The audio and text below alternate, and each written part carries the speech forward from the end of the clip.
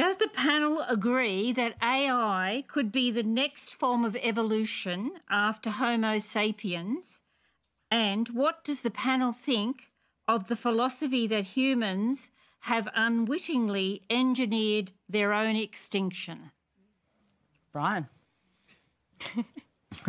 Very simple question, so thank you for asking it. We thought we'd um, start easy. You know, I, I would say it probably a little bit differently. I would say that for all of human history, we've known that the way that we access the world is through these feeble senses and through this thing inside of our head that processes the incoming data. We don't actually see the external world for real. We process it through these things that have come to us through evolution.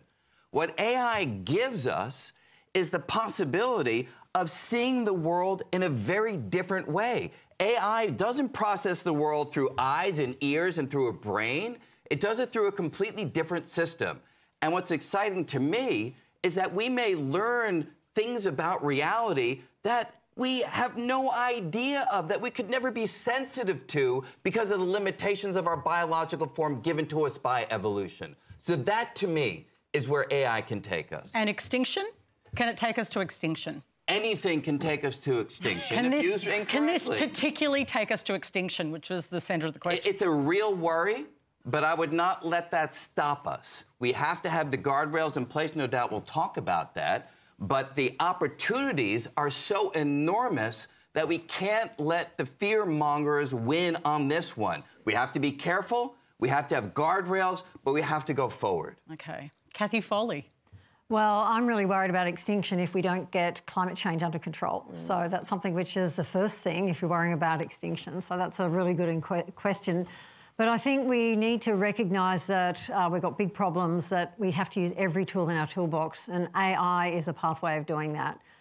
One of the things it's is doing already is uh, helping us be able to detect cancer better. Uh, it's able to allow us to uh, absorb very large amounts of data and be able to get some sense out of it.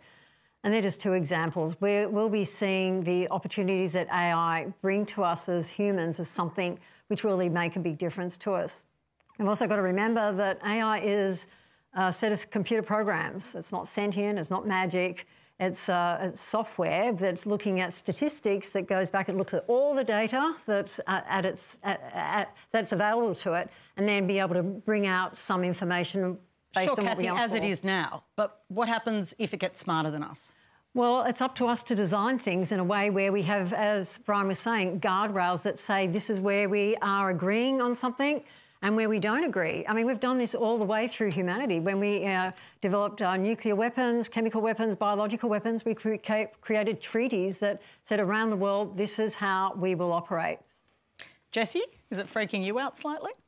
It's freaking me out because I'm listening to the people who are creating it and they're saying it's freaking them out. So they're sort of going, we don't know what this can do. Sometimes we don't fully know how it works. And when I'm hearing them say that this has the potential to, I think I heard Sam Altman say, um, switch the lights off of humanity, that makes me a little bit worried. And I agree that it needs guardrails, but what worries me is that when there's capitalist incentives for AI and we're in a bit of an arms race, that when does this stop? Are we deploying technologies that we don't fully understand that could have terrible consequences and in the hands of the wrong people? you know, if it's the bad guys have it, the bad guys can do bad things. And that's the big question. Cathy, I'll Well, one in. thing which actually you have to remember is it uses a lot of energy. Mm. And uh, one of the things which, if anything, if uh, you can pull the plug out, but also there's a prediction that we will uh, use up so much energy with doing AI that we actually won't have enough energy in general. So mm. I think that's going to be one of the limiting factors yeah, that right. uh, you, you just can't let things grow forever. And if you have good guys with AI, and you have to hope that the good guys are smarter than the bad guys, because the bad guys are usually bad because they're not as smart as the good guys. They can't make it in the ordinary way. So if you got the good guys with the AI, there's a real opportunity for them to That's construct true. the AI to combat the very things that people are genuinely and mm, okay. legitimately concerned about. All right, that's quite a binary way of looking at it, right? There's the good guys and the bad guys, and I, look, I like, I like it, I like it, I like it. It seems easy, but I don't mm. think it mm. works like that, does it? Um, perhaps my background makes me a little bit, um, perhaps more wary. Um, I completely agree we can't ignore it. It's like ignoring the tide coming in. So I think we have to Yeah. embrace it. We have to put guardrails on it. We have to develop it. But other less um, uh, ethical uh, individuals, leaders, countries will will choose to progress whether we like it or not. I'm a bit of a science nerd. I apologise, and and, and there's a, I, there's a- I can't figure out how you got invited onto the show. a particular particular event. Um, uh, machines started beating humans in the chess game in, in the late 80s. Um, chess, relatively bounded game, finite number of moves. There's an Asian strategy game called Go, and hugely popular in South Korea, China, and Japan. And uh, a team of, of AI researchers challenged the Go world champion in 2016. And, and I think this will become kind of anthropologically one of the most interesting things in AI development. The, the world champion they, they, they challenged Lee Sedong was the Roger Federer of, of Go. He had won 18 world championships in a row. He was arrogant and dismissive of the computer because he said it, this is a game of, of judgment. There's no set moves, you know, two up, one left. It's a game of judgment. And the computer beat him easily in the first game. But people said, oh, well, he was taking it lightly.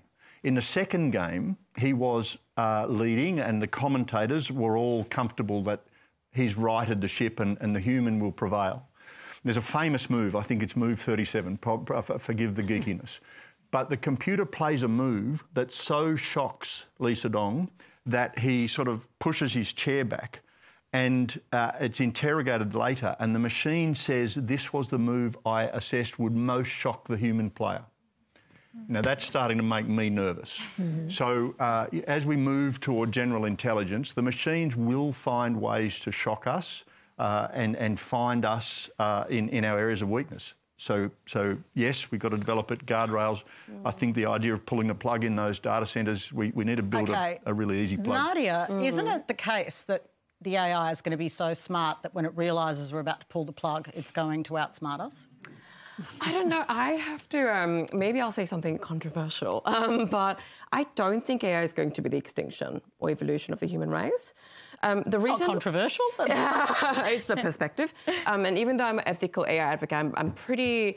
I think it's going to bring amazing things to human race. Um, and I think we have to make a distinction between what is malicious and non-malicious.